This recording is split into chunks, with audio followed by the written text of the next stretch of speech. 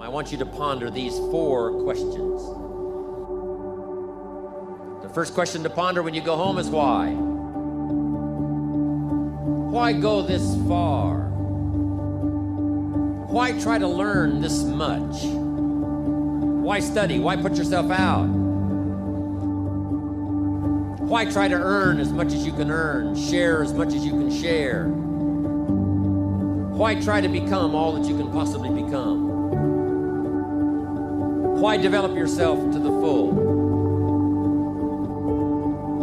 Why try to do it all? Why try to take on this much responsibility?